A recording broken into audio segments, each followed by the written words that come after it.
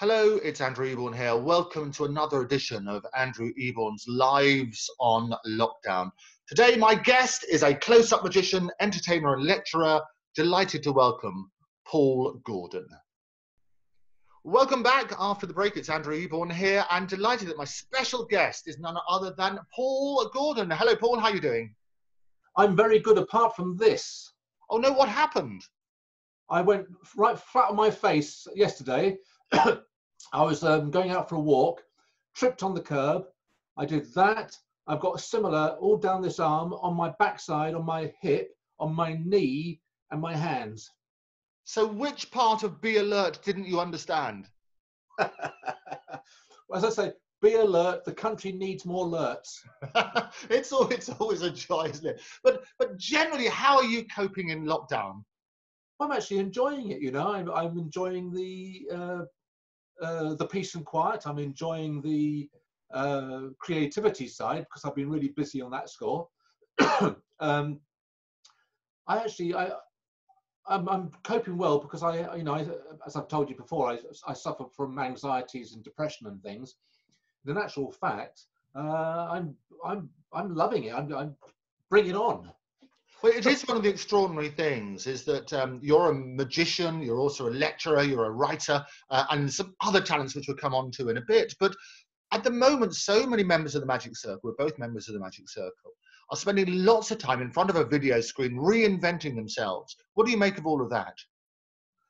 Well, I think it's good if you're good at it. Uh, I think a lot of the problem, well, not a problem, I don't want to be knocking anything on anybody, but a lot of people don't know how to perform for a camera uh, and they end up staring at the camera. And uh, I see a lot of magicians performing things. and You can see them trying to look at what they're doing whilst they're doing it. Uh, it looks really bad. And I mean, I know this background here is not great, but it's better than um, the, the, the linen cupboard, isn't it?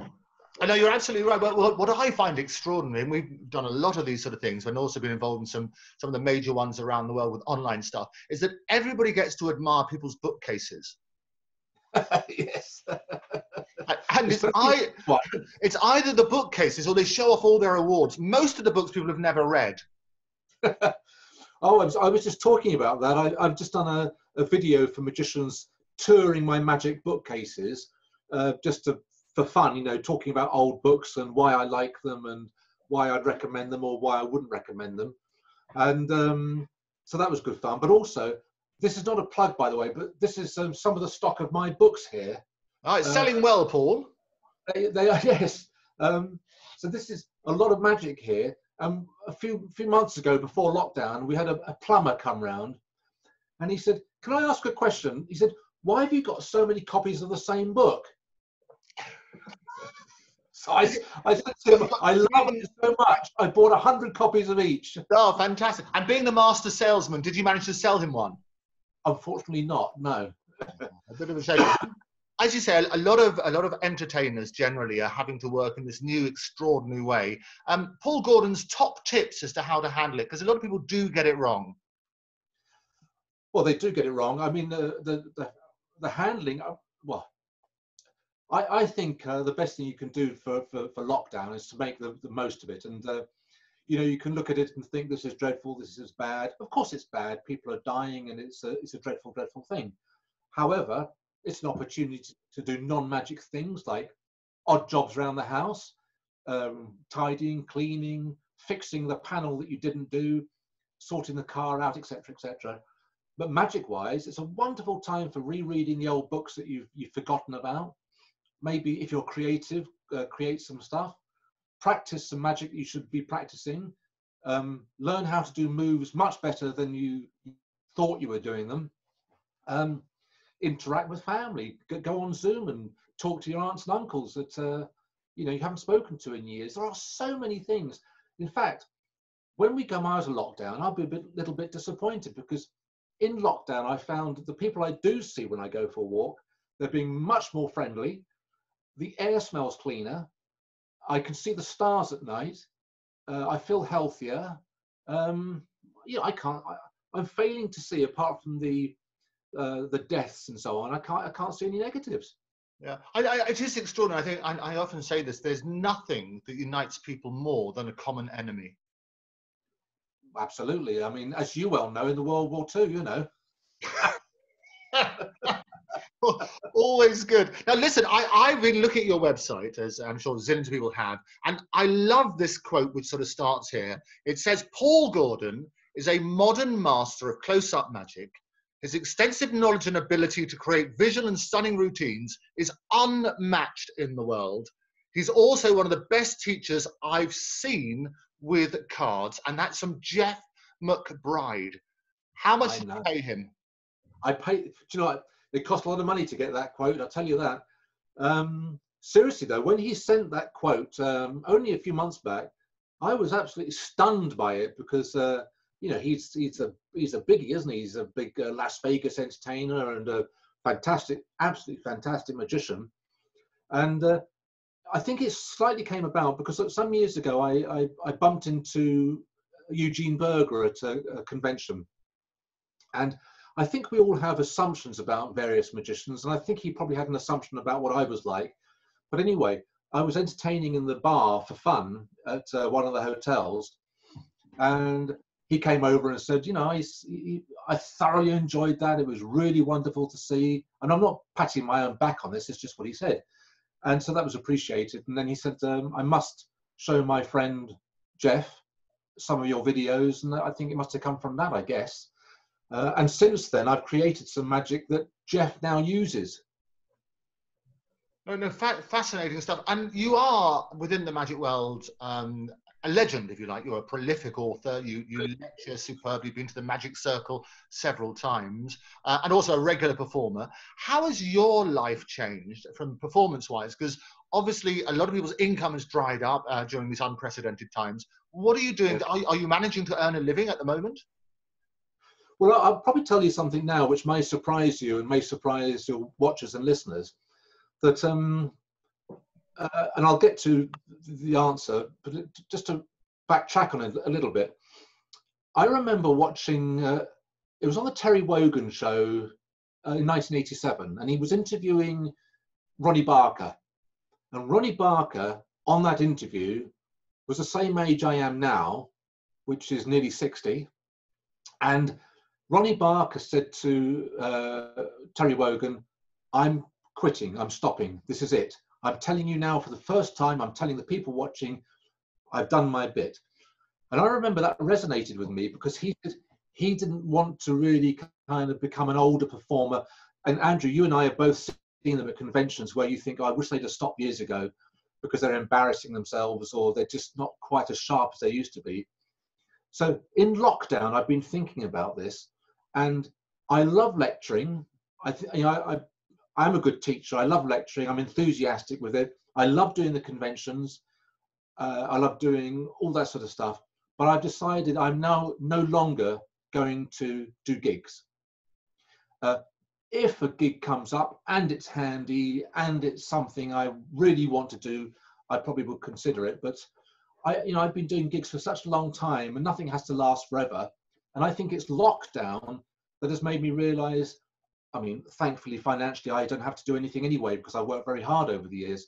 But, you know, I don't want to do gigs anymore. So that's it. And is that because you've lost the enthusiasm for it, or do you think you're not as good as you used to be?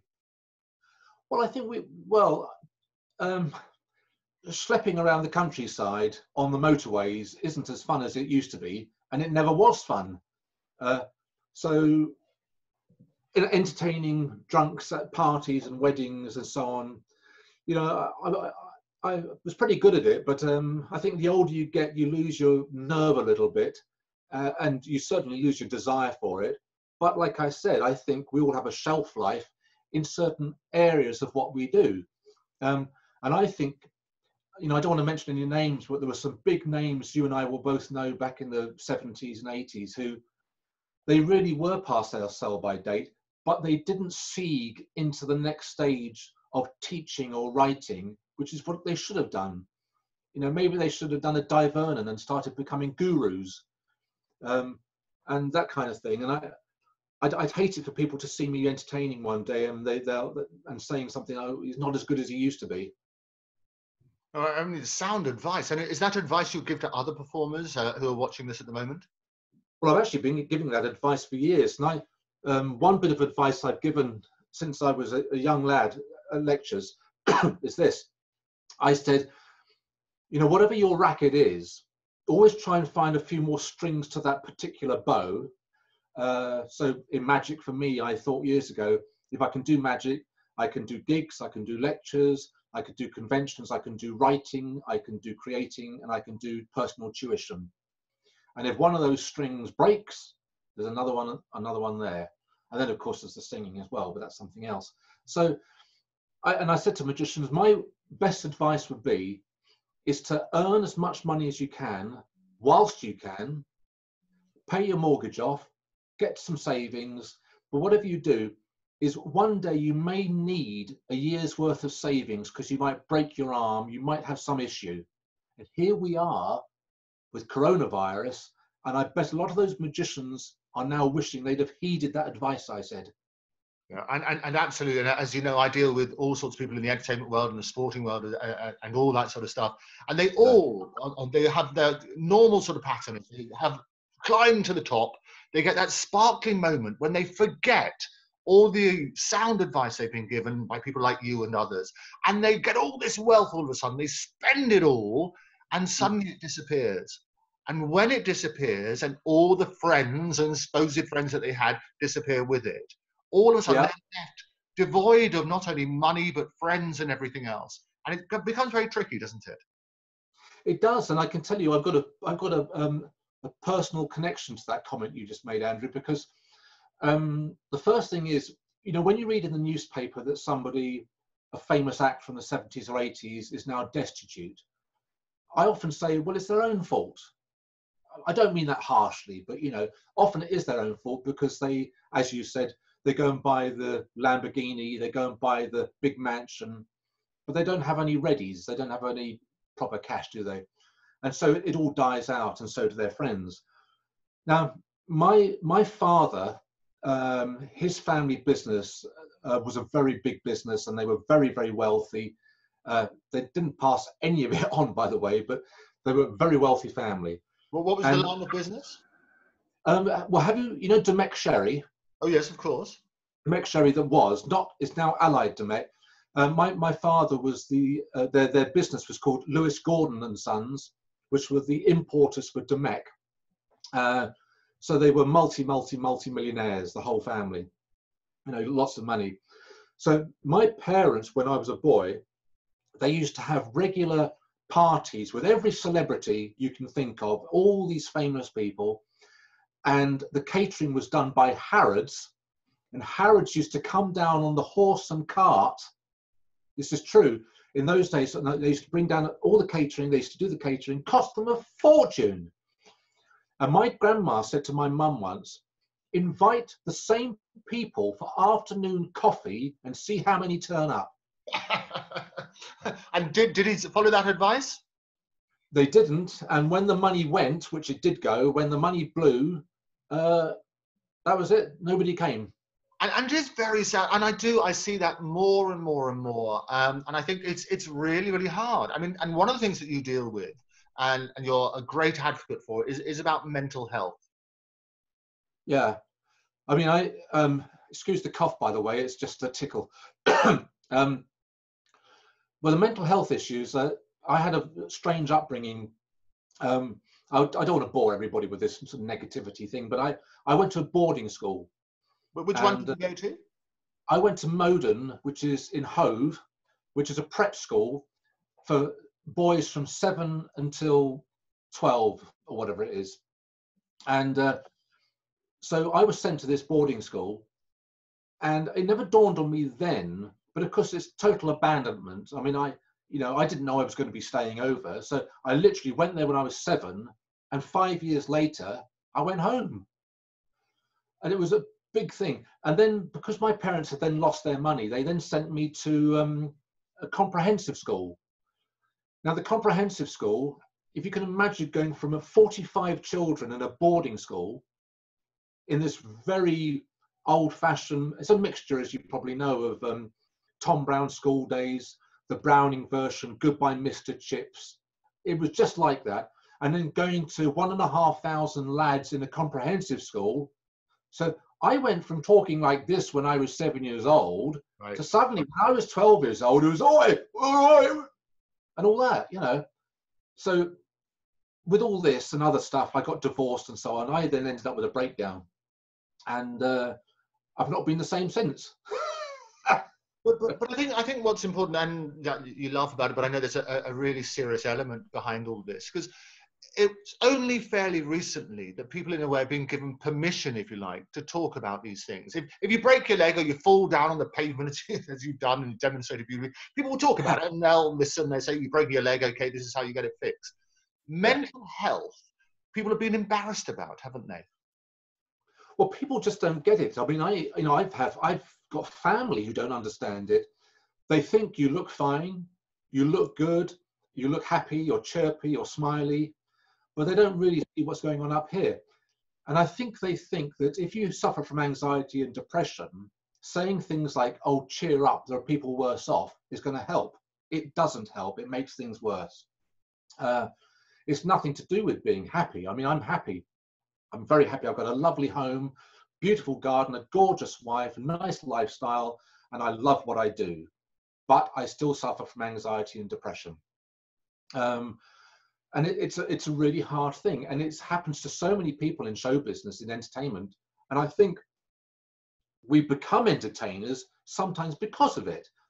So when I was a small boy, it was my cure for, um, well, I, I wasn't really bullied, but it's my cure for I, I, I, didn't like school. I wasn't academic, so I used to muck about at school to get laughs and smiles. So I used to tell jokes and do some magic, and um, obviously that then carries on. But it's only, as you say, in the last 15, 10, 15 years that people have actually decided to be open about it, which is why I am on the Magic Circle website, uh, the Facebook um, Magic Circle group. And I'm still surprised that every now and then I get personal messages from people saying, oh, don't keep going on about it. Nobody cares. Well, people do care, and it's a serious issue. And as you and I both know, we've lost a lot of magicians in the last few years to suicide. Yeah, and, and, and every death is obviously tragic. And and so often you do find in this profession it's uh, it's actually with um, comedians with lots of performers and so on and so forth those are in the public eye actually are, are, tormented by these demons. It's what I call the joke cloak, if you like. It's everybody's yeah. living a lie because you're out there performing, you've got all this adulation. You then go back to your home where actually it's just you, and it's really, really rather depressing. Well, I, I'm not too sure this is depressing, but there's a, such a big come down from this high of entertainment and adulation. And I think the best way to cope with it is, is to say to yourself, I am aware that this is just tonight's applause. You know, don't take it to, to heart that everybody loves you and everybody wants you, because um, there's a mutual friend of ours who's now he's now out of the business, um, and I remember seeing him at Cromer, and he was performing at Cromer. He asked me to go up and see him do a, a show up there, and when I did, he said, "I love it." He said, "The audiences love me. The cast that everybody loves me and it's so great and it's so good and uh, everybody gets on. These are my best friends. I said, they're not your best friends. These are people that you're going to see for two weeks of your life. And when it's over, it's going to be great. You'll go home to your normal life and the, the lawn will still need mowing. The washing up still needs to be done. So just remember that we're just giving people some entertainment for a little, little vignette of time and then it's on to the next thing if you become too in in uh, in awe of yourself, that's when it starts affecting you. No, no, absolutely. We always say, look, never believe your own PR. Oh, absolutely. I mean, people who do. I mean, I. Uh, I'm a firm firm believer of keeping your head on straight. And Richard Young interviewed me uh, for his podcast um, some years ago, and it was nice of him to say that of all the people he'd interviewed, he thought I was the most level-headed and the most kind of normal well, I kind of have worked at that very hardly hard because I am normal. We are all normal, but whatever job that we do, you do the best you can in that job, don't you? Yeah, and I, I think the reality of people are onions, if you like. There are many, many layers to them, and most of the people they don't let you see beneath, or you don't open up the kimono and see the real person. Yeah, and I, I think uh, you know when I go to the magic circle, I, I try to be me. Uh, that is now the real me is pretty quiet. I mean, I'm not an extrovert. I may appear it, but the real me is in my log cabin, which I've got down the end of the garden, with a glass of wine and a good book and peace and quiet. Now, when I go to the magic circle, um, it is just full of people trying to impress other people who are trying to impress. And the trouble, trouble with that is um, you end up with this sort of buzzing of egos and untruths and shows. Whereas if you could walk into, say, the Magic Circle Club room and say, okay, everybody, stop the bullshit. Let's just be normal. We're not impressing anybody. Let's just be ourselves. I think the fraternity would cope better and the magic fraternity would be a better place for it. No, I, I, think you're absolutely right, Paul. And what happens, I mean, social media is a lot to blame for this as well, because social media gives an artificial impression of other people's lives, doesn't it? And so people only seem to post the good stuff. We are here are the wonderful people I'm meeting. Here's the fantastic gigs. I've been paid more than I've ever been paid before, and my life is so much better than yours. Like me now, share, share, share. And if you don't like, well, uh, off you go. And it's it's so false, isn't it? It is false, and I think it's part of this. Um, uh, you know, I don't want to sound like an old fart, but um, it's part of this narcissistic way uh, of life these days, where it's all about selfies, isn't it? Uh, selfies, and people want praise all the time. And in schools, they've taken out losers, haven't they? I believe it's now everybody's a winner. Um, but the truth is, people aren't all winners. Life is hard, and, the, and I think I've seen some younger people suddenly have this huge shock where they go out into the big wide world and things are bad. You know, people are dying, we all get illnesses, things don't work out the way they want it to, but because, you know, um, social media and uh, sitcoms and everything else make it all about the narcissistic me, we, me rather, uh, you know, it's, it's, it's quite ugly, isn't it? Oh, it, it's certainly ugly, and I think um, that, that's the good word for it because everything is so artificial. Everything is a moment in time, and I, I often say that the more technology has evolved to give us means to communicate, the less we're actually able to communicate. And by that, if you go to see people in restaurants eventually when we get out of lockdown, so many people are all stuck on their mobile phones, plucking away. They, have got their heads buried. And some of the saddest scenes that I, have seen are when you go to these glorious places around the world, you go to Venice, and people are on the gondola, and all they're doing is looking at Google or whatever, rather than just enjoying the moment. I mean, I, absolutely. I, I, I hate it. You know, when, when, when I was a kid, you took a photograph of the Sphinx. You took a photograph of that. You didn't take a photograph of yourself in front of the Sphinx, did you? So every photograph you see on Facebook has this pouty figure in front of it with the beautiful thing behind it. And I think it's it's extraordinary that people are so obsessed with with with uh, this kind of artificial artificial uh, way of life. And it, but as soon as you knock it, or as soon as you say something about it, people think you're you're you're becoming like an old man, you know, grumbling about it. Um, and it just reminds. Can I just say something else on this? Um, there was uh, just on the magic fraternity, and I don't know this is apropos, but uh, um, every now and then on the magic uh, circle website, somebody will say, "Oh, Paul Gordon blocked me" or something like that.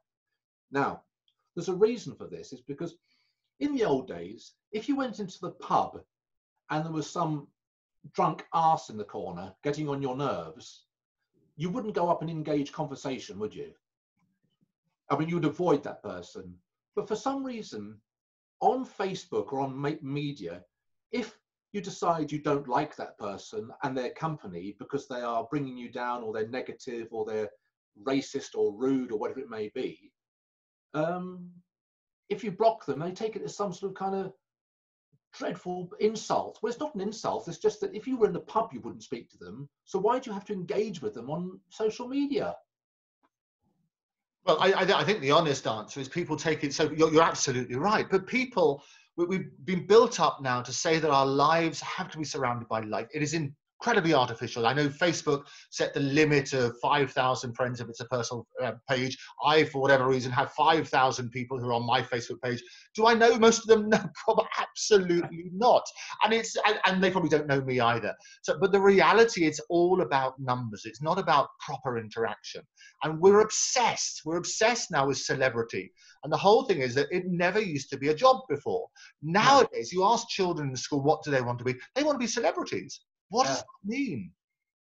Well, I know. I mean, I, you know, I mean, if, in a strange way, in this small, uh, I call it. I always call it a racket because I think a business sounds a bit pompous. In this racket of ours, the magic business, I suppose, in a very small way, um, I'm I'm kind of well known in it, but it it means it means absolutely nothing to me that that sort of so-called status thing because I like people and if I like people I like, I really like people.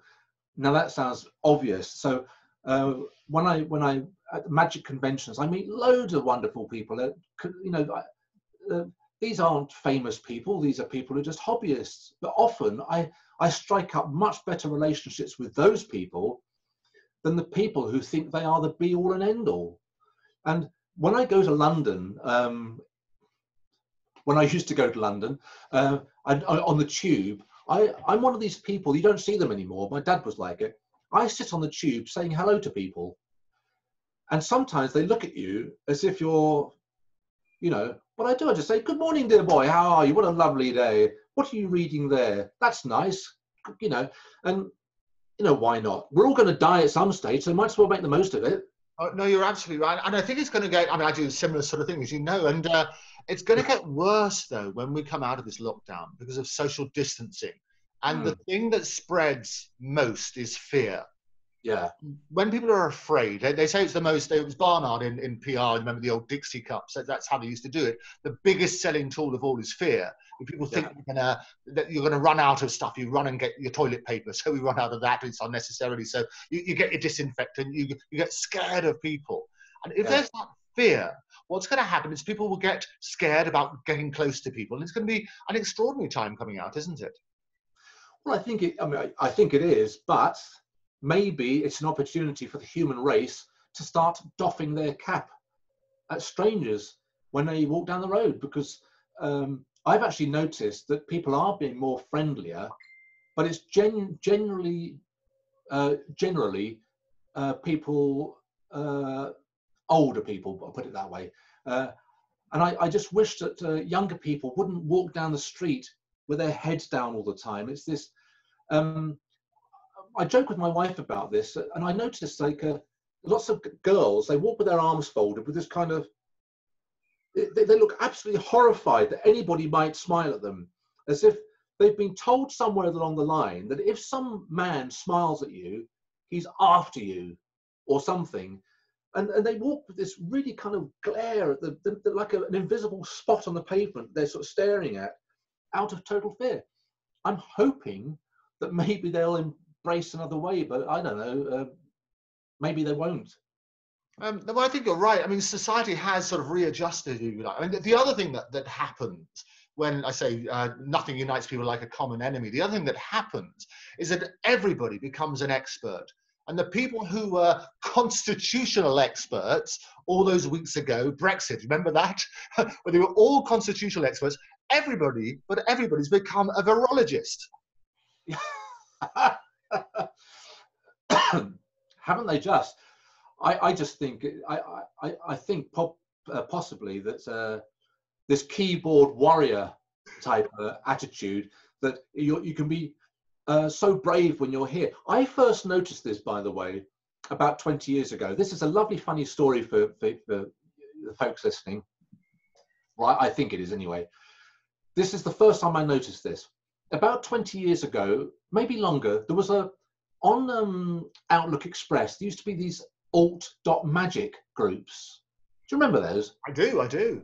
Yeah, and it was some weird little thing you could sort of send little messages back and forth. Anyway, there was this one character who seemed to be the font of all knowledge. Anything to do with magic, he had an opinion on. Um, anybody's opinion always differed from his, and vice versa. And he sounded absolutely fantastic. I thought I'd like to meet him. He sounds wonderful. Anyway, I did meet him. I met him at a convention about a year later up in Scotland. I was lecturing in Edinburgh and he was there. Somebody pointed him out. He was about 11 years old. Extraordinary, isn't it? I mean, you know, and that was the first time I thought to myself, oh, there's something going on here with this internet malarkey. It's not quite all it seems. And, and what was his name? Oh, I, I have no idea. I can't remember. But, but, but it is extraordinary because everybody now, and even with an 11 year old, you can have some uh, amazing knowledge and things like that uh, on that sort of basis. But let me take you back, Paul. And you mentioned about the extraordinary upbringing you had um, mm. with hmm. your parents. They were lots and lots of money. Um, what is your first memory? Uh, my first boy, I, I was born in the early 60s, and I can remember being in a pram. Um, I think it's why I have this kind of joie de vivre you know, I, I really do. I'm like you. I mean, you're, you're so ebullient. It's wonderful. I think so many people could, if you if you could bottle your ebullience and sell it, Andrew, I think you'd make a fortune. Yeah, I'll get you to sell it because you're the best salesperson. I always say that. we'll, we'll go into business, you and I. Love um, it. uh, but I can remember, I can remember being in a pram. I can remember watching the trees, and I can remember looking at things, this, that, and the other. And I can remember the first magic trick I saw, which was my great uncle. And do you remember the days of um, uh, turn up trousers? Of course. I still uh, wear them. yes. Uh, well, your generation would, Andrew. Um, um, my my great my uh, great uncle had turn up trousers, which was something in the if, if people don't know, it was like a, a leftover uh, fashion thing from the war. And he would make a coin vanish and I later found out it was an old Nate Leipzig move where he'd he'd drop the coin onto his thigh and it would it would swivel its way down into the turn up. So uh, that's the first magic thing I ever remember. And, and um, do, you, remember though that that moment? This is what people always forget. That moment of wonder when yeah. the coin disappeared.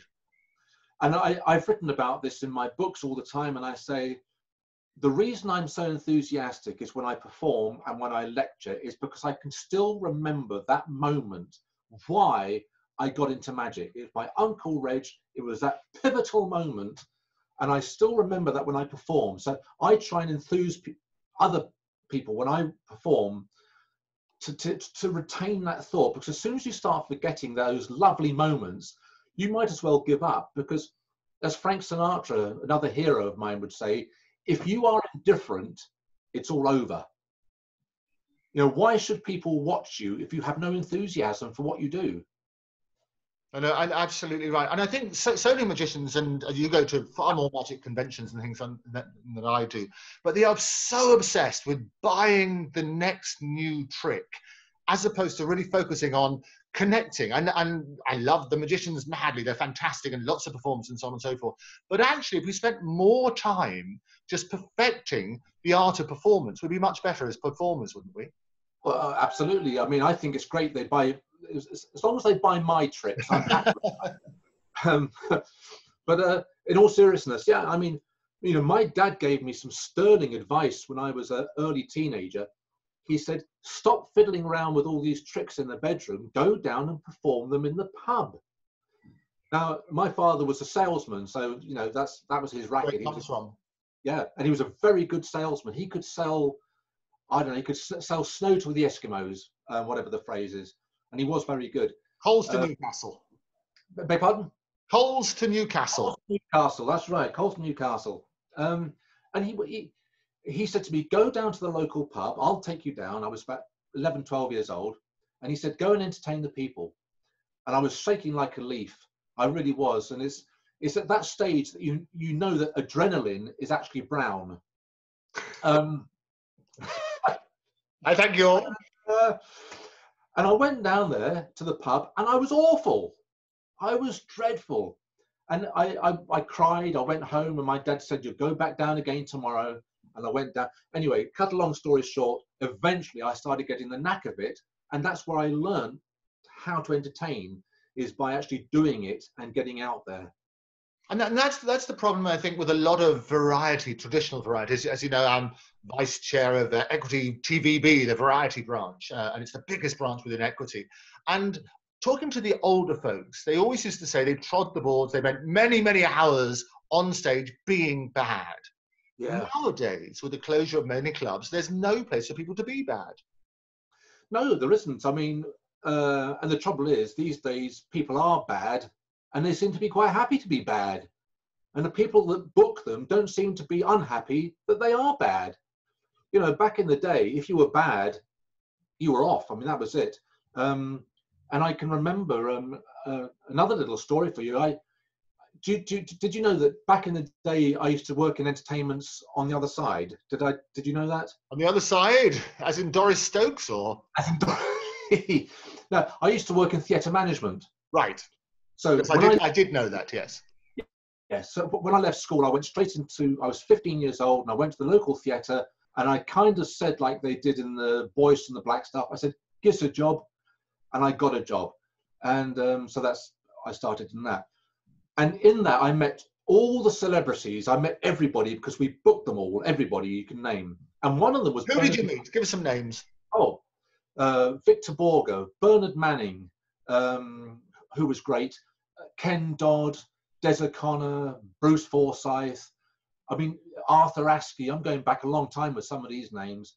Uh, Jazz acts, uh, Ball, Bar, Barber and Bilk, and uh, comedians. I mean, just everybody, you know, you name anybody that was around in the late 70s to late 80s, I, I just met them all. And Bernard Manning uh, was the friendliest of all of them. Now, I know people have all these issues with his act, but you know, you separate the man from the act, I always think, or the person from the act. And he was lovely. And he's, he, I told him I was a magician. I did some magic for him. And he said to me, Do you want to come and work the embassy? Ah! I did. I went up there, went up to Manchester, and I did um, two, two or three. I can't remember. I think it was at least two um, times I went there, and I entertained. And it, and I was only in my twenties then, but I, I, was good. I did well, but I learned so much. You know, I I learned. That's why that's why I've got this very naughty sense of humour. I've created lots of adult tricks over the years but, but I think I think that's right, and it's working to that sort of audience because growing up at that stage, and you mentioned Bernard Manning, and he uh, uh, was he, he's a divisive character because people look back and they mm. think about the 70s and there was the racist and the sexist and all that sort of stuff and people in, in a way it's gone completely the other way where you've taken out that sort of sense of humor and I think, in a way, you're absolutely right. There's some appalling things happening. There always have been in the world. But they yeah. always say that uh, in humor, you have to know where the line is and go beyond it. Absolutely. I, I, you know, for, for bearing in mind that my parents were very kind of old-fashioned, and uh, you know, my mum was, a, a, an old. Uh, hang on a second. Oh, I love my, it. That's for me. That's another book sale. Hey, it's somebody, it's somebody, trying to book you for a kid's party, and they're so disappointed. You said you're not going to do it. um, oh, lost my train of thought there. Oh yeah, my mum. Yeah. Uh, my mum was a very old-fashioned, pinny type woman, Christian uh, type woman, but she she hated censorship. She used to say, if you don't like what's on TV, there's an off switch. If you don't like the magazines on the top shelf, don't look at them. It's as simple as that. And that was, and I learned that a lot from her. Lots of things from her. And I always say that if you um, if you censor comedy, you don't have comedy, do you? I mean, you have a, you know, I, and I know this is not a, a an age thing, but uh, like you, you know, back in the seventies, I used to watch the comedians on TV, and all the comedians around in those days that made me laugh, these days would be classed as being uh, old-fashioned, probably. Uh, Jim Davidson, Freddie Starr, um, Bob Monkhouse live, who was very, very blue live, Jimmy James, and the rest of them. Now, when I watch, well, I don't, but sometimes I turn on the TV and they have these modern comedians from um, the O2. I can't find the gags. I just cannot see what the joke is. But the audience laugh and I have a slight suspicion it's a little bit like the Emperor's New Clothes. You know, Uh, an interesting thought. And well, what's happened now is comedians have become the new rock stars, and they are packing out what were venues traditionally for major, major acts. And I can tell you, as a promoter, you know, I promote as well. As a Hmm. promoter, it's much cheaper to put a guy or a girl on with a mic than it is to have all these fantastic special effects. And so, Yeah. from that point of view, um, and they are hilarious. It's more about situational comedy. It's about describing because lives are funny, people are funny, and people Mm. who can describe those experiences and say, "Look, let's not take ourselves too seriously." They do really well and touch a touch a, a, nerve, if you like, with people. yeah. Well, they, I'm, I'm sure they do. Uh, but you know, it's it's obviously comedy is so uh, um, individual, isn't it? Uh, for my part, I like the. I, I'm a Don Rickles fan. I love Don Rickles. Uh, I, I love um, uh, Billy Connolly and that kind of stuff. Um, you know, I don't like insipid humour that you feel like it's been taped, uh, watered down a little bit. Uh, and so sometimes I find modern comedians just not, just not very funny. You know, I like a good gag. Um, But but but but also on that though, Paul, if other people find them funny, does it really matter that you don't? No, not at all. No, I mean, uh, absolutely. Uh, having said that, um, my stepdaughter, she went to see, um, um, uh, oh, I've forgotten his name now. Is it O2 uh, a while back? And I asked her- Michael McIntyre. Michael McIntyre. There you go. Look at your mind. Actually, your mind reader. That's in my book coming out tomorrow. That's the one. and I actually asked her to, to ask a couple of people what they found funny. And I kid you not, she asked the person next door to her who was laughing non-stop. And he said, I, to be quite frank, I don't know why I'm laughing, but I'm laughing because everybody else is. But and laughter is contagious, isn't it? That's it. So, um, but you know, I, um, uh, oh, but to, a little vignette for you. I've got a wonderful Don Rickles Frank Sinatra story. Can I tell it if I tell it with the language or not? Oh, absolutely. Okay. This story has been watered down, but this is the exact way it happened. Uh, it's been written about, but it's always been written about incorrectly. And I'm a, I'm a Sinatra aficionado, so I know more about Frank Sinatra than anybody. True. anyway, Frank Sinatra told this story himself, so he was laughing about himself. Uh, he said that um, back in the 50s, huge superstar that he was, uh, he was performing at a restaurant, at, at a um, at a nightclub, and afterwards he was having a meal, and the comedian during the meal was Don Rickles, and Sinatra didn't know him at that stage. He didn't know who he was, and Don Rickles wanted to play a joke on Sinatra, but also wanted to get in with Sinatra. So Don Rickles went up to Sinatra and said, uh, as he approached the Sinatra table, the bodyguards pushed him away, and Sinatra said, "Let the kid through." He came in and said, "Mr. Sinatra, you don't know me, but I'm the comedian for these for the evening, and I'd like to ask you a big favour. There's a beautiful girl I'm with, and I want to get into her knickers. I want to get into her knickers, and if you came past the table and said hello, Don, I'd be in there like a shot because she'd think we were friends." So Sinatra said, "Okay, I'll do it. Let me finish my meal, and I'll come up and say hello." So this is Don Rickles winding Sinatra up. So Sinatra finishes his meal, went up to the table and said, Hi Don, how you doing? And Don Rickles looked up and said, Fuck off, Frank, I'm busy. Oh, we love it. We love it. All good stuff. No, he, he had a fantastic sense of humour, didn't he? well, both of them. I, it's like, Did you ever meet Sinatra? I did. I, I saw Sinatra 18 times live in concert. And I didn't meet him, you know, socially. I just met him outside the stage door and I got to shake his hand. And I've got a wonderful photograph of him and me together, which uh, is up here somewhere. Um, you have to dig it out for us next time. So when Yeah. when you meet, I mean, as you say, people are people all around the world. But when you meet your idols, and Sinatra was an idol, and then for obvious reasons, and you've got the same steely blue eyes and all that sort of stuff. how, how did you feel? Oh well, I was I was tentative because, as they say, don't meet your idols because you'll often be disappointed. Uh, but I I I knew at the Albert Hall, so I saw him 18 times between 77 and 92, and uh, the fir- in 1977 and 79 or 78, I realized that he came through a certain door at the Albert Hall, which nobody expected. So the next time he, I saw him in 1980, I stood with my sister. My sister came, and I went round this backside door at the um, Albert Hall, which is difficult, bearing in mind it's round. But there's a sort of a side entrance round there. I, I know. Well, they, they, they were a client for many years. So uh, when, when I was a baby lawyer, I used to look after the Albert. It's one of my favourite venues. Stunning. It is, isn't it? It's gorgeous, and uh, many happy memories there. So I stood in this sort of on this on this rotund bit, and suddenly I heard these cars. His car turned up. Now all the paparazzi were on the wrong side. I stood there with my old. Do you remember the old box camera? Oh yes, absolutely. I had my old box camera, and he got out of the car, and there's about five people there, and I said, Frank. He said, Hiya, pal. Nice to see you. I said, Can I get a photograph? Sure, pal. I took the photograph.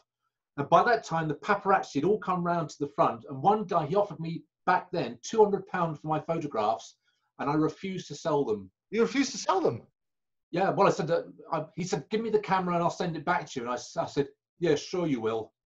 I'll never see that again. So I kept the photographs and it was a very happy moment. And Sinatra couldn't have been sweeter. He was so nice to everybody. No, I, and uh, absolutely. And look, have you got those photographs to show us later?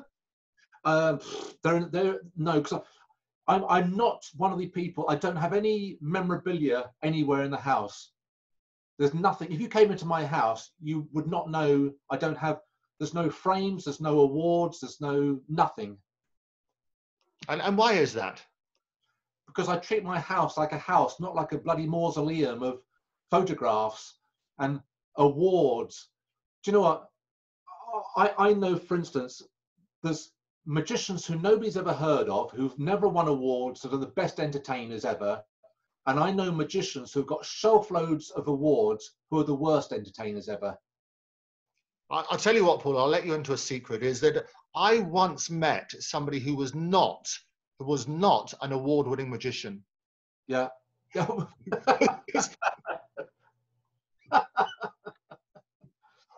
hang on. Oh, what have you got? Here's an award. What have you got? I have got an award. Look, I've got two awards. Hey, what are they? Now, in 1968, Yeah. I won my first award ever, and that was the neat and tidy handwriting at kindergarten. Oh, that's what you want. Is that the award you got there? No, this one is from the Magic Circle, Okay. and the John Neville Maskelyne Award for uh, literature. That was Very very sweet. I got. It's a very strange award, this, because you can't see the writing. But you can feel it. I, I think that's rather good. And tell, it, tell us what, how, I mean, obviously you got it for literature. Uh, remind us what you got it for in particular. Um, well, I, um, Was it your whole body of work? Is that, was I, that the idea? Sure. I think so. Um, I literally got a phone call a couple of years ago from uh, uh, Scott Penrose saying, "Come to the circle on the so and so date," and uh, I thought I was going to get fired or something, you know, um, or forced resignation, or or some public school beating out the back, you know. but uh, I, I was very surprised to win it, and I presume it's just for the general body of works there. Books, what I wrote. Books, what I wrote. And, and how did it make you feel? I mean, you say you're not really one for awards. How did that make you feel? Well, it was. It, it made me. I don't want to belittle it, and I'm not belittling it, but it was. It's, it's lovely, and it was nice to be appreciated. Um, but it was a more of a surprise. I still feel surprised, you know, because I I'm not an award-winning magician at all. I um, you know, I I've never entered competitions or anything like that because uh, of 101 reasons, you know. No, it, it, it's, and what was the other award? You, you had two in your hand. This is from uh, the IBM in America, the Linking Ring magazine. Uh, International Brotherhood of Magicians. Yeah. That's right, International Brotherhood of Magicians. Their, their, their, their house organ is the, the linking ring, and and they have a segment in there. It's called the One Man Parade, and you can offer a one man parade of tricks, which has to be about 20 pages. And I've done two parades over the years, and um, one of them was voted the best ever in that period of time, and I got a, an award of excellence for it. Oh, fantastic. And what, so what was what was voted the best ever? Uh, well, the the parade. Uh, so the not the trick. It's just the whole thing. Right. Okay. I, I Uh, a little sample for that. Yeah. Well, uh, the the the trick. You'll probably know some of the tricks because I do. I've done them at the club many times. Um, uh, of of which I'm very proud of doing those. You know.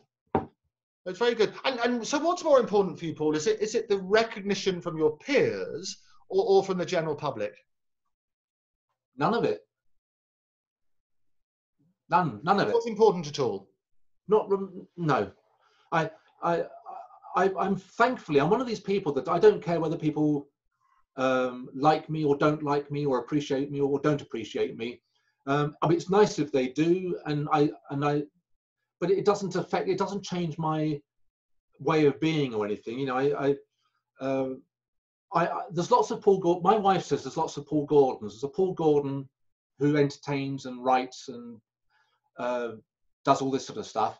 And then there's the Paul Gordon who is uh, irascible, uh, um, often angry or upset or a bit narky or a bit annoyed. And then there's the Paul Gordon who stays at home sitting wine, uh, sipping wine in his log cabin. Um, so I, I, I just kind of separate everything very nicely. And um, you know, if you get a, if you get accolades, that's nice. If you don't, you know, nature is more more more important to me. Sure. I mean, you mentioned wine a few times. It's obviously an important part of your life. What what, what, what wine do you drink? Uh, red wine. Ah, quite a connoisseur. Then it's good that people are discerning. Oh, absolutely. I wouldn't drink. You, you know, I think uh, I was joking with a magic friend the other day that when you're a teenager back in the 70s, the only option was uh, hock or Liebfraumilch or um, Blue Nun. Blue Nun. That's Blue Nun.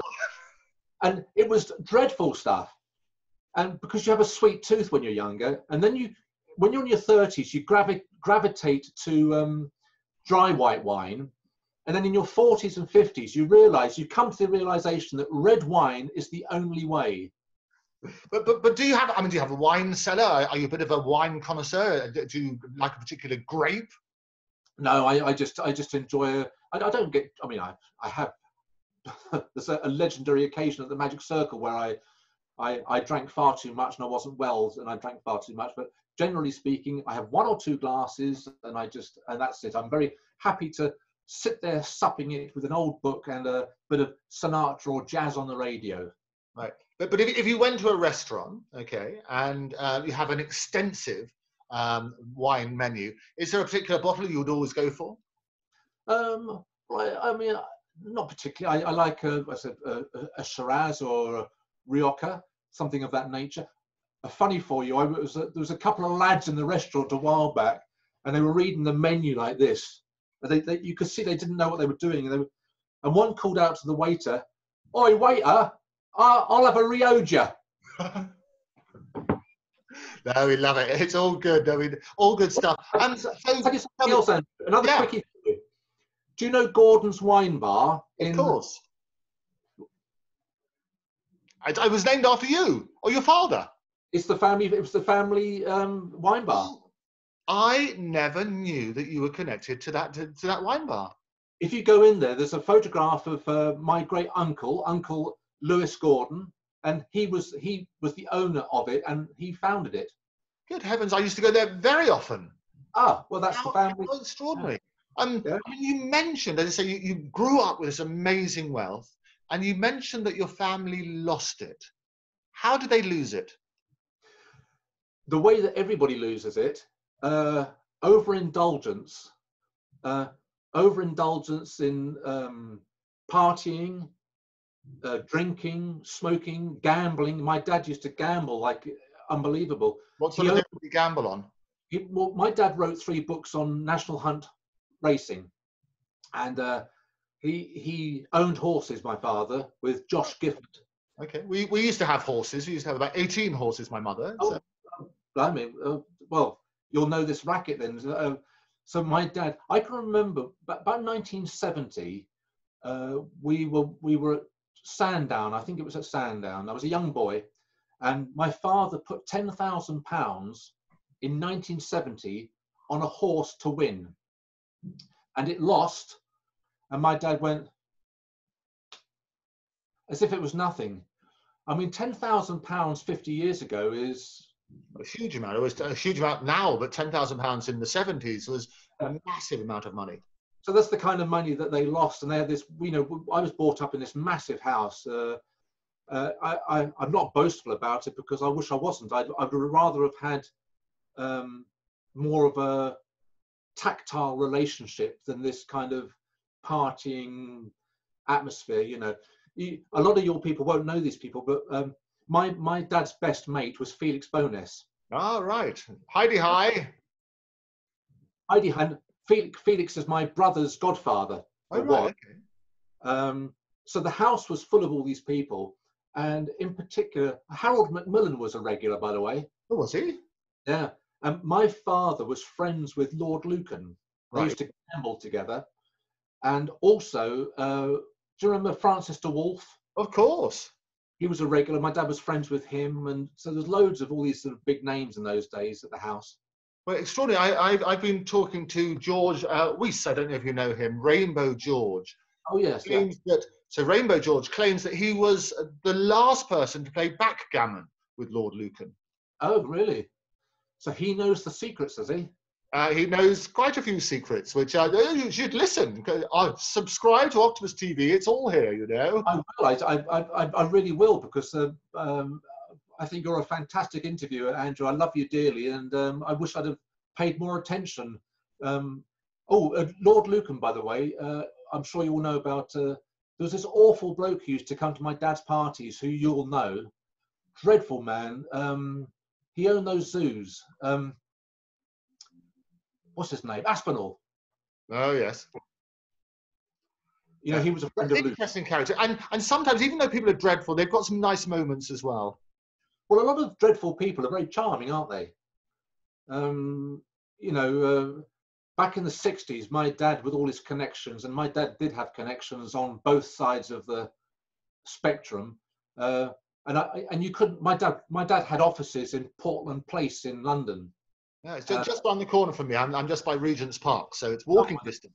Around the corner. I used to go there as a kid, um, but my dad also had friends in the dodgier parts of East London, so he met people like uh, the Krays and all that lot. And uh, and I think because my dad, you know, again, my dad was very tall, very handsome, very charming. Uh, he's six foot six, very good looking um, an ex-captain during the war, could charm the birds off the trees and and the ladies, you know. And I think a lot of people who have these kind of major flaws are charming people, aren't they? And, and it's very difficult. And were you close to your father? Not really. I mean, you know, he was a an old. Um, well, he was a public school boy. He used to go um, to Downside in um, uh, Wiltshire, wherever it is. So he was a very author, authoritarian type father. Uh, you know, used to get the whip and the cane and the um, spankings and all that sort of stuff. So it, was it was more of a he provided for um, lifestyle wise, but not in emotion. Mm. Well, you mentioned uh, just a moment ago that actually, you, rather than all this wealth and all the trappings and so on and so forth, you'd much rather have had a more tactile relationship. Yeah, yeah, oh, definitely. Did I mean, you miss out? Was it a, was it a loveless family? It was a very odd. It was a very disjointed family. Um, I, and I, I still go to counselling about this. Uh, I've been going to counselling for years and years and years, and I still discuss the same thing because, uh, you know, the boarding school thing, the the partying thing, the the people that my dad knew, the people that used to be at the house. Used to be lots of uh, fights and drink drink related fights and arguments and all that sort of stuff going on. Uh, and, and, amongst all that, I used, to, I used to hide away practicing magic because I didn't want to. I didn't want any part of the lifestyle. I didn't. I didn't like it. I didn't like most of the people that used to come along, and um, you know, it was uh, a, a, weird old time. And, and what what was your saddest moment during that period? Um, well, so many, so many oddly sad moments. I mean, the sad moments would be uh, being abandoned at school, at a boarding school. I didn't like that at all. I didn't fit in either. So uh, it, it, was uh, very difficult for you know, if you're a, a quiet, if you're um, if um, how do how do I word this? If you're a compliant type child, you can you can fit into it. But I wasn't. I was very lively and very um, very uh, inquisitive. And the trouble is with boarding school, it brings you down into this very small sort of kind of lifestyle of uh, uh, you know cricket and um, Latin. I mean, you know, I, Latin. What's that about? You know, it was a weird, weird, weird subject to force feed a kid. Um, well, Latin is the basis of all language, Paul. I know. Uh, what a load of baloney. baloney is one of them, absolutely, and the Greek as well. Very good. um, yeah, I, it was just. Uh, I don't think I really started enjoying many things until I actually finally got divorced from my first wife years after all that. And then I married, I met Judy, who's so down to earth. She's a wonderful person and she really looks after me and brings out the best in me. Um, but, you know, I, I've not always been like I am that people perceive me. You know, there's been some tough times and rough times, and uh, I've I've done a lot to survive over the years. Do, do you resent the fact that your father wasted all that money? No, not at all. No, I don't resent anything, and uh, I, I, really don't. You know, it was it was his money, his lifestyle, his way. Um, you know, it never meant anything to me. You know, it obviously meant something to him, but it didn't mean anything to me. You know, and um, um, I, I literally, uh, you know, whilst they were enjoying their lifestyle, I was doing bobber jobs to earn pennies and farthings and threepenny bits by cleaning people's cars. So he never ever passed any of it on ever. But in your darkest moment, when you're looking for money and scraping around, and you suddenly realize, as you say, when things go, that's the moment you realize that I wish I'd embraced it a bit more. There must have been an element of resentment there that it, it was wasted. Well, you know, my sister, I've got two, two sisters and a brother, and we've discussed this. And my, my eldest sister will call it a riches to rags story, um, which it, it, kind of was because uh, going back to when I, I left home when I was about 21 years old, and I had no money, and I, I ended up in a bedsit. So I was in bedsit land for ages without any money. And I decided to get off my ass, and I, I probably illegally, I went to America busking, doing magic and earning money in the streets and going to clubs and getting tips and uh, then doing the singing. And I was doing all sorts of things and some of them, which I probably better not talk about, just to get, get by, you know. What, what, what, sort of things shouldn't you talk about? Oh, uh, no, I won't. I won't. I, will end up framing myself or something. So I know some good lawyers. it was just you know when needs must you you you go to some depths to i don't mean stealing or anything like that but i just mean you know really uh, earning money on the edge of it as it were what's right. oh i can't honestly it's a uh, it's a bit too personal as well it's a bit uh, yeah i bet i can't really go there. Okay but you you went from that sort of side. I mean did you love your father? Um, right, I, I, felt more sorry for him to be honest, because you know uh, he was obviously um, uh, part of his his upbringing. so his father, um, my grandfather died the year I was born, born. And so he owned all of the land that uh, Crawley Hospital is now built on uh, in Sussex, and uh, you know, said, they had they had a lot of money, and the sad part about it is, is that my grandfather lived in this mausoleum of a mansion and he had another house which was a mausoleum of a mansion that his children lived in. Because his wife my grandmother who committed suicide eventually she didn't like her children so they all lived and they were all brought up by nannies so you can understand i can understand why my dad was like he was because he had no love from his father you know. And as a result, I mean, did you ever tell your father that you loved him? I did on many occasions, and he would never say "I love you." He would say things like, "You know I love you," but he could never say it. And uh, and to the day he died, I could never get any kind of. He was a he was he was cold, you know. He was a cold man. And, and how did that make you feel? Well, it was, it, you know, I, I've never really kind of dwelt on that kind of thing, you know, because I just thought, well, I need to get on with my own, I need to get on with things, you know, I need to get on with what I'm going to be. And sometimes I think either children um, become like their parents or they they carry on their lives in spite of and try and become different Yeah. And, and cer- certainly that seems to be true. As you say, there was a pattern with, with your grandfather who treated his children that way, and therefore your father would put you in that particular way. How's that molded your own relationships?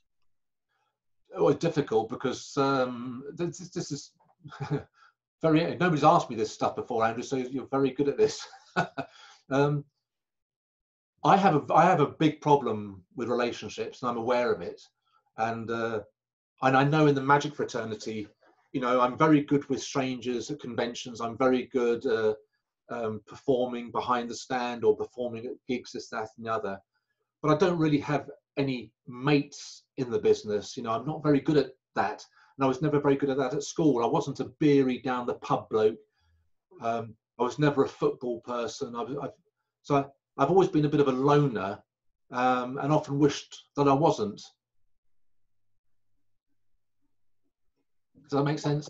I know it, it certainly makes sense, and it's very honest uh, of, of you to say that because I think wh- what I believe with all these conversations is we lack in this world now about honesty. So things, so many things are fake, not just the news, but the people and everything else. We all live a life which is actually not really us at all. And Yeah. the more we can encourage people to talk about this, because it must have been, it must have been really painful not to have love at home. Yeah. Well, it was. I mean, I, I I can't say who because it's not my issue, but uh, there's a lot of suicide in our family, and um, a lot of attempt, attempted suicides in our family. So, and and on my mother's side as well. There's so my mother's side had issues. My father's side had, had issues.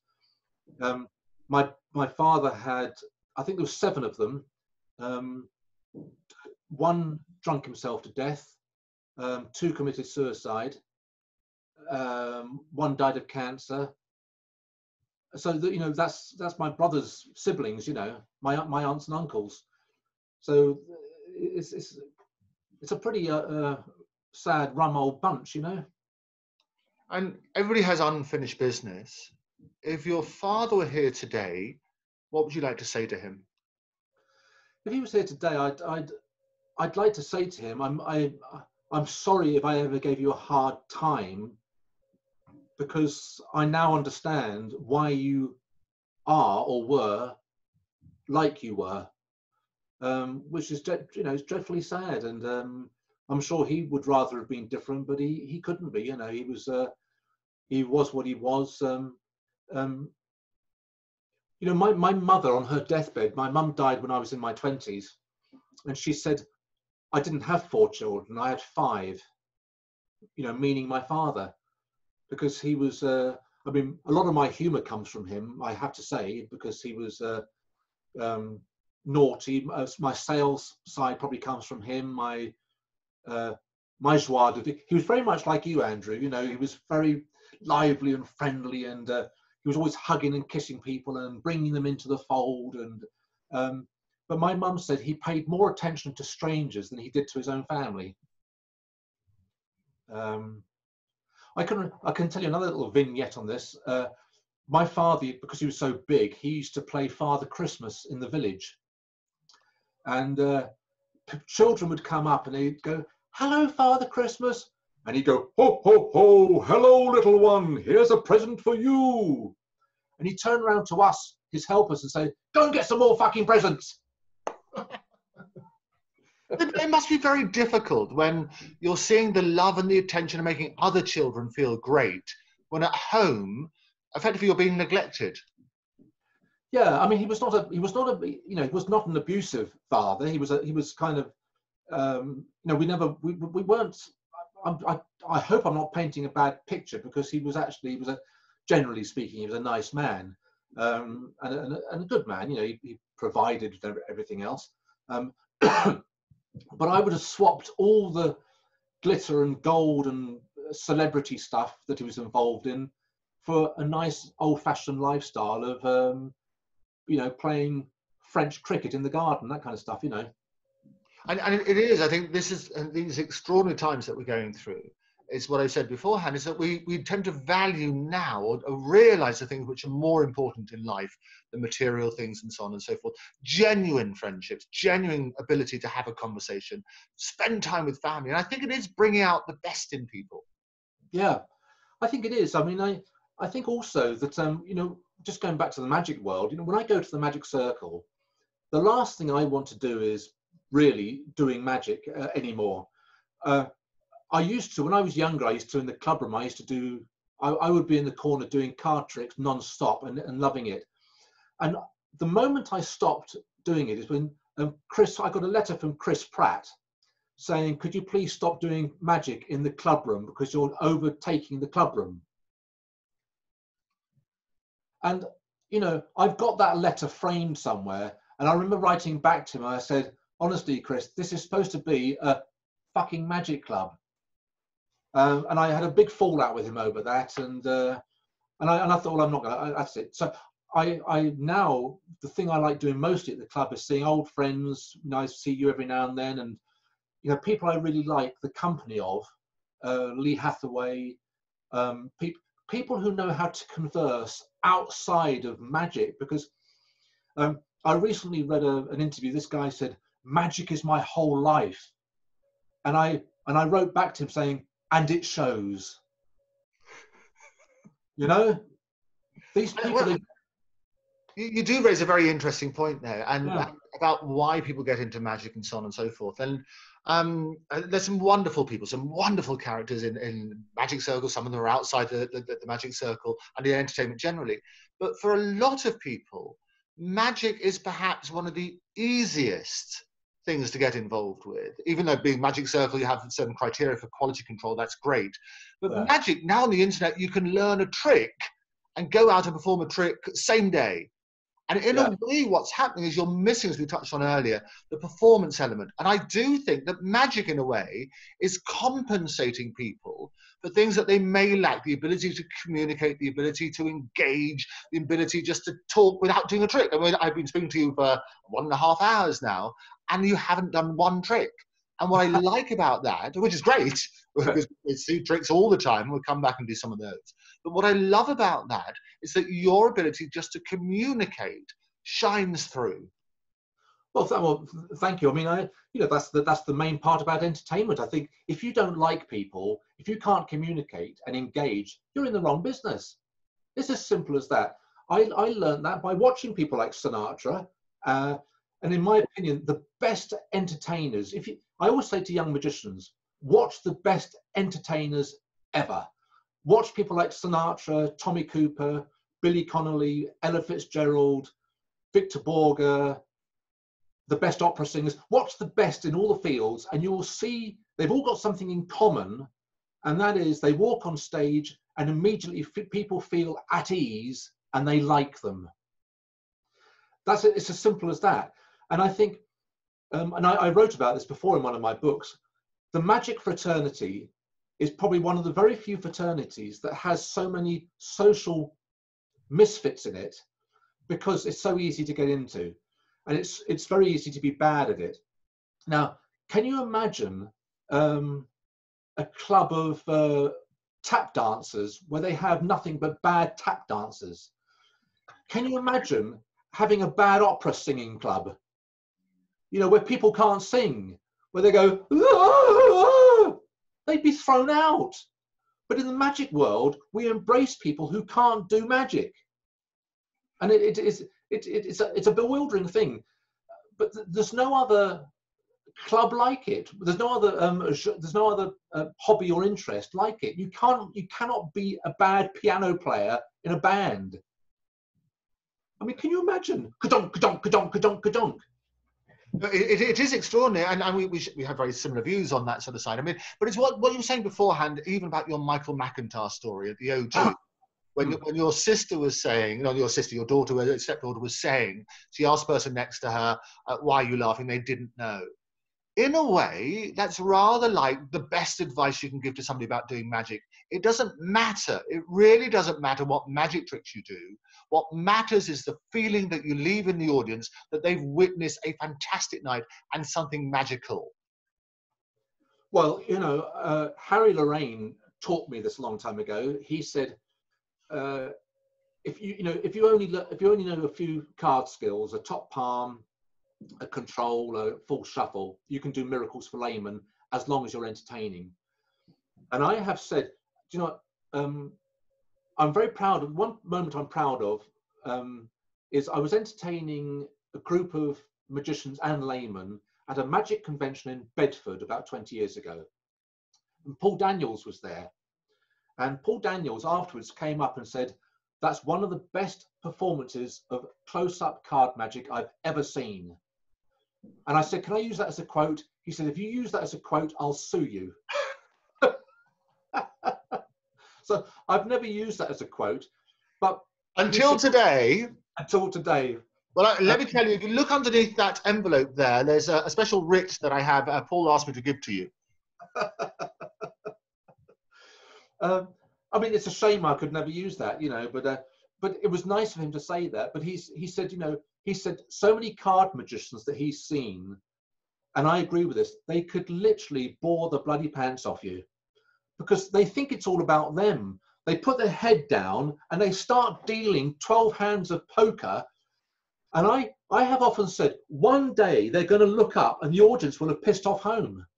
Which, I think is a, a, wonderful moment. I always want that when anybody puts a blindfold on. I, I say, get the whole audience out, get out quickly. I mean, it's it's extraordinary that so many card magicians that I have seen they think that the the laborious uh, non-patter demonstration of a long-winded poker routine is going to entertain anybody. Yeah. And, and, and, the other the other thing, Paul, as well, is that when people are doing tricks, they're not engaging. What they're doing, they're all doing down here on the table, and they're all looking at the card. Yeah. So you're advising people. We touched on this at the very beginning. Is you're you're advising people in this new age when you're engaging through a screen, you're trying to reach out, and yeah. you learn your lesson from maybe some of the the great communicators in even in magic, something like David Nixon, where you hmm. felt as though he was talking to you in yes. your home. That's the real skill, isn't it? Well, it certainly is. I mean, David Nixon was the big name on magic, you know, when I was, was watching TV in the 70s. And he looked like everybody's uncle who could do a do a trick, didn't he? And he had that wonderful, sort of very soft-spoken, wonderful manner of, uh, you know, almost like a, a, a vicar in training, wasn't it? It was a rather wistful voice about, oh, what a wonderful trick, and let me show you this delightful thing. Um, obviously, chalk and cheese with Paul Daniels, who came on later on, but these great communicators, that is what they do, they communicate. Um, you know, again, because I'm a Sinatra fan, it's been said so many times in a stadium of 100,000 people, Sinatra could sing um, with Bill Miller on the piano. He could sing a torch song like One for My Baby, and 100,000 people would feel like it was being sung to them personally. So there was silence. 100,000 people silent.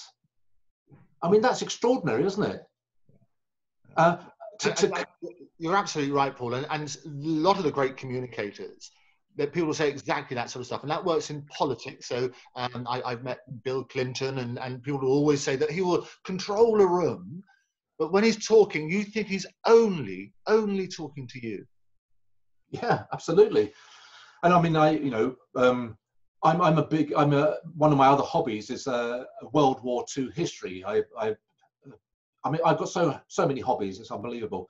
But World War II history is one of them, and it's probably not very popular to say, but in my opinion, the best orator, manipulator of people was, as we know, the biggest monster.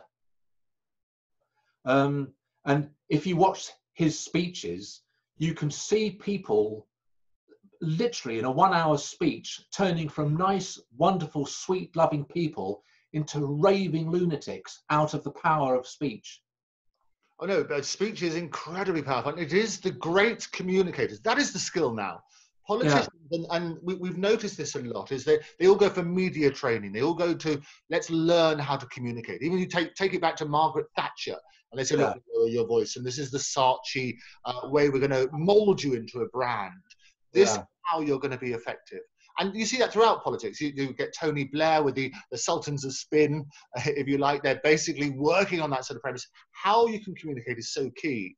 And it's rather yeah. like, even though Trump is a wonderfully divisive figure, what happens is he is a communicator and he will make sure that he gets those column inches. Yeah, absolutely. And it, I, am always surprised, you know, people who I think are uh, smarter than sometimes they appear to be. When I, I've said before, now what I'm saying now is it's not a political comment, but when people say, how can a bumbling fool like Boris Johnson become prime minister, they're missing the point, aren't they? Right, absolutely, absolutely. Totally missing the point. And they say, you know, and why isn't Jeremy Corbyn, uh, you know, prime minister? I said, take take politics aside, he ain't got it. Yeah. Simple and, as that and, and it's so key and, and this is where i mean you talk about performers and magicians learning the lessons not just from other performers and, and it's a common thread. If you ask most bobby bernard used to say it alan allen used to say it ali bongo used to say it, all these great names in magic which uh, a general public may know as well. They'll always say don't just look at magic and the people who do the wonderful tricks. Look at the great communicators. And you would see that sort of side where basically people who can communicate work on that basis Boris appeals to people because he can do the bumbling stuff, but beneath that, there is that air of brilliance where he will work on the soundbite. He will work at how can I communicate to the people in a way that people understand. And he feels like everybody's body to take down the palm. It's rather like Nigel Farage. You know, he managed to say, this is the nation, but he's a guy who will be down there in the pub and he'll be drinking a pint, maybe one of your, your, your family's old, uh, old establishments, but he would be down in that sort of place. And you feel as though he's a guy I can talk to, I'm going to listen to. Yeah. I mean, it's, I, I, am fascinated by it. Um, you know, the psychology about how, what makes things work. Um, and my wife is too. She, she, she is very deep into psychology and she looks at all this very deeply, deeper than I do. And uh, one of her comments was, we, we went to a magic convention as guests, and uh, there was a, a the, the, gala bill had about eight magicians on it, and uh, they were all big names. One of them was Michael Piers. Now, do you remember Michael Piers? Mickey Piers, the, the, the Irish comedian as well as uh, uh, juggler, and I think he was a magician as well. Is that the one? That's right. Yeah. Well, his name was Piers, but he, he, used to call himself Michael Piers. Uh, so yeah, he was a comedian, juggler, um, and out of pure likability, he stole the show from all these dreary, banal other performers. And as my wife said, what a lesson! All these people watching, you could learn a lot by watching why and how he stole the show. It's as simple as that. And, and, and, his old gags were the old sort of um, uh, old working men's club gags, I seem to remember. But but it's the way he delivered and yeah. the way that people liked him. He, he came yeah. on and he was likable. Yeah. I mean, I, I, I you know, again, I, like I said, I'm fascinated by this, and I, I had a chat with um, uh, Eric, uh, Eric Sykes once um, through the through the business, and Eric Sykes made a faux pas. He told me he made a faux pas by saying to um, Tommy Cooper, Tommy, you make it look so simple. You come on stage and they all smile and laugh. And Tommy Cooper said, yes, but it took me 20 years to learn how to do that. Yeah, uh, it's absolutely right. And, and I think the, the other misconception that people have is that uh, you don't necessarily have to be likable. I think in entertainment, what you have to do is be interesting. Well, yeah, you've got to, yeah. Again, it comes to the Sinatra thing about if you're indifferent, Endsville. I mean, uh, you know, people I like in magic, the, the people I like to watch, generally speaking, are edgy ones. So I like to watch Mel Mellers. Um, our president, Noel Britten. I think he's just one of the funniest. I, I love watching his, his act. Uh, um, Graham Jolley, you know, the, the people that have, there's a, there's something about them. There's a little bit of naughtiness. There's a twinkle. Mischief, isn't it? There's a little bit of mischief about them.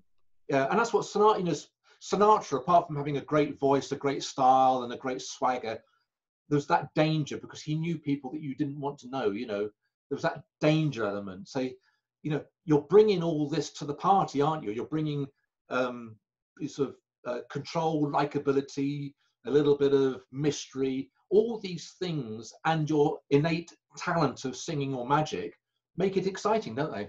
And, and I think also, also Paul, what, what you find is that uh, sometimes it's the element of surprise. So for you, um, I, I, know you're a, a fantastic magician. Um, I was surprised fairly recently to find out that you love, you're an old crooner yourself, aren't you? I am. I'm a, I, uh, I, I've been singing for since God was a boy, you know. Um, I, I, I, taught myself how to sing as well. I mean, uh, again, this is not a boastful comment, but I've taught myself everything. I know I've never had a teacher, and so I, I literally, I've always, if I've ever wanted to do something, I've knuckled down.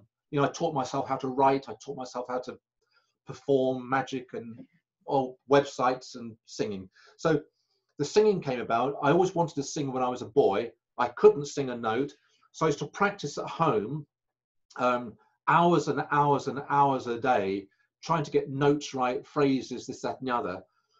And when I was 23, I went along to a there's a famous band, uh, a local band back in the day. Uh, most of the members were ex Ted Heath members. Oh yeah. Um, and Ted Heath was a big name, as you know, in the 50s. So these guys were all old pros. You know, they were uh, real smokers, drinkers, and they knew their business, and they they they they all did session work. You know, big session work.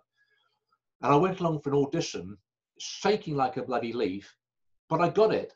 Um, and I, and the thing was, is I went along on this Wednesday for this audition, and I got it. And he said, "Right, we've got a gig on Sunday. You're doing it." Oh my God! I can still remember the fear that rattled through my body, because you know I'm talking about an 18-piece big band. You know, this is this. You're out the front with a an 18-piece swing band, and um, that's how that started. And, and that feeling, um, magic is very, very different when you're standing there, it's just you with the audience. When you're there with a massive orchestra behind you and they're all dependent on you effectively bringing the whole thing together, how does that feel? It's, it's more thrilling than magic. Uh, it's more enjoyable. I, I'm, I'm more in control, I, I feel. Um, I think, you know, had times have been different and music tastes have been different, which I fully understand they're not. Um, I think Matt, Matt singing would have been my thing, you know. Uh, but the kind of music I like and love is never going to make a comeback. You know, people try, but we, you know, we know that things are there for a period in history, and when they go, they go, and they never come back really. Well, um, I'm not sure. I'm not sure that's true, though, Paul. I mean, what what type of music are you talking about? Well, I know things come back in a nostalgic way, but the swing era. Nostalgia ain't what it used to be, you know. very good. Um, you know, you look at the modern music. You've got that the twenties Charleston, yeah, the thirties and forties swing, fifties rock and roll, sixties the Beatles, uh, the seventies you then had um, uh, uh, glam rock.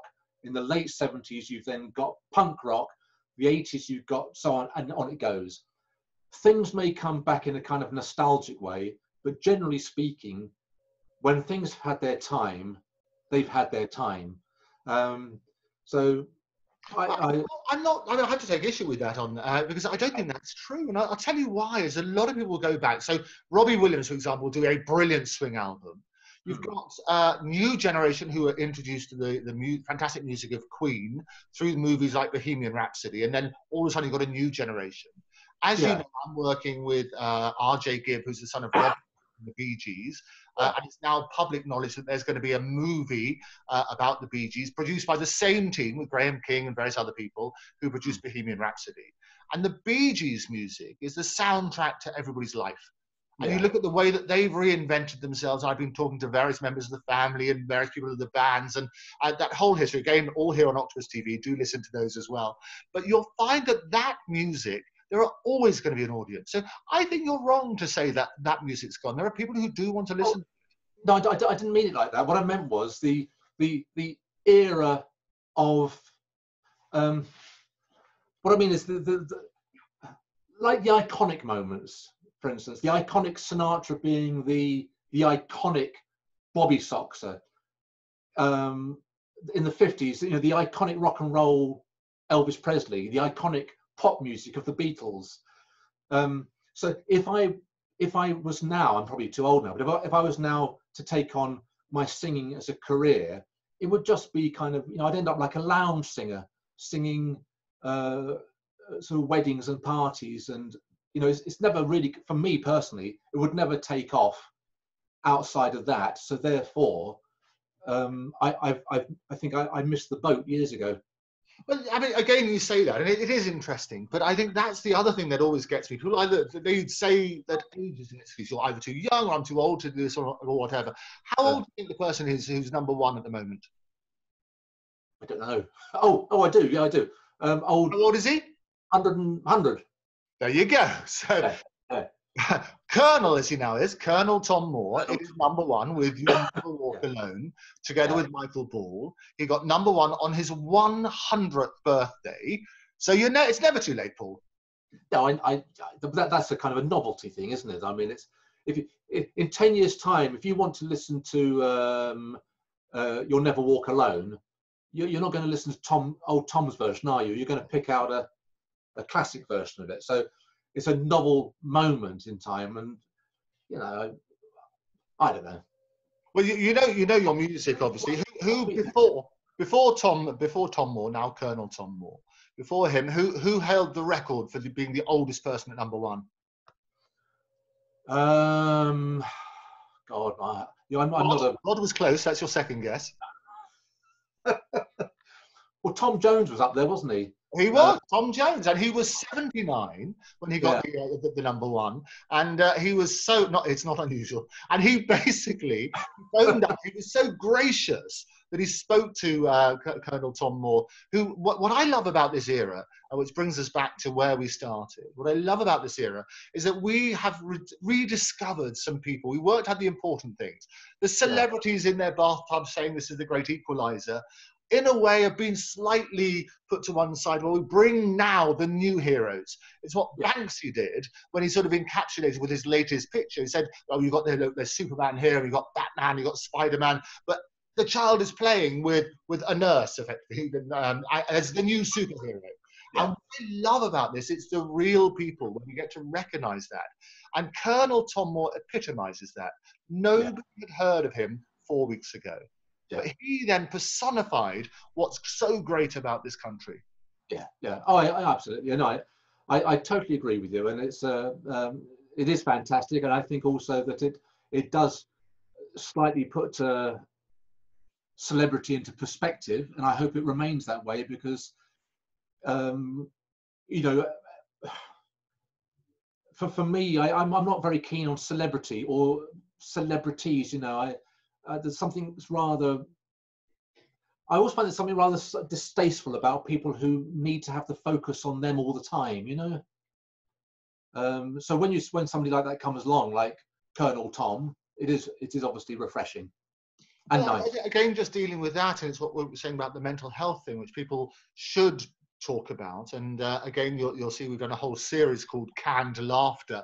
So mm. canned mm. laughter is artificial laughter, um, but it also basically uh, it hides a multitude of sins. So we've set up a, a special thing for uh, the entertainment business, but also others affected, where you can talk about your experiences.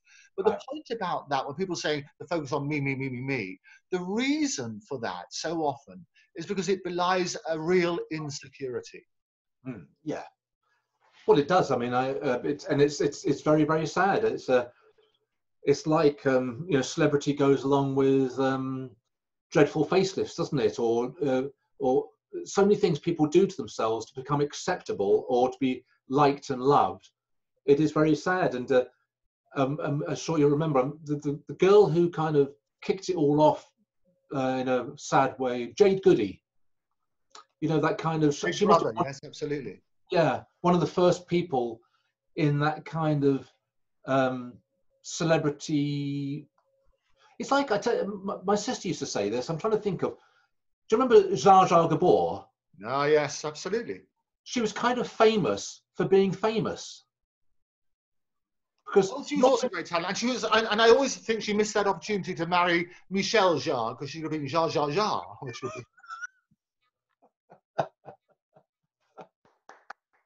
I thank you. I'm here all week. It's got to be good.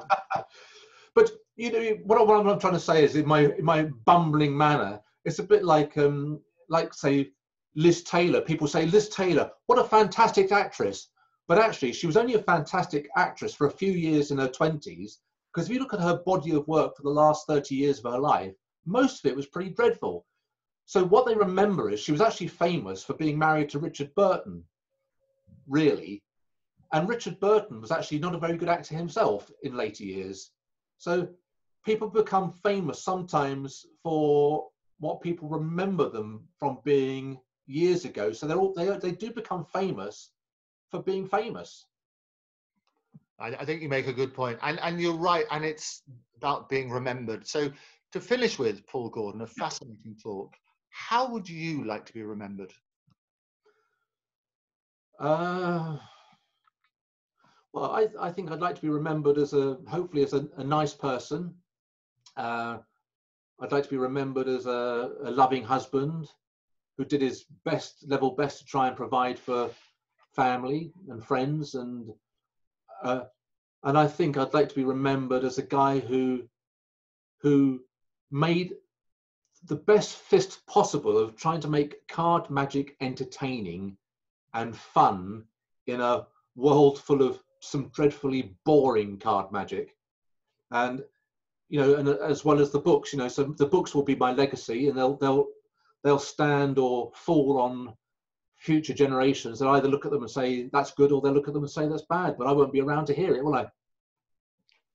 Paul gordon um, thank you very much indeed for being my guest. It's been a real joy. Uh, two hours have flown by and we'll get you back and next time you might show some other things as well. Uh, but for now paul gordon many many thanks for being my guest thank you very much andrew um, thanks ever so much for asking me and uh, as they say may you live to be a thousand years old and the last card trick you see is one of mine Brilliant stuff. Thank you very much, Paul Gordon. Bye bye.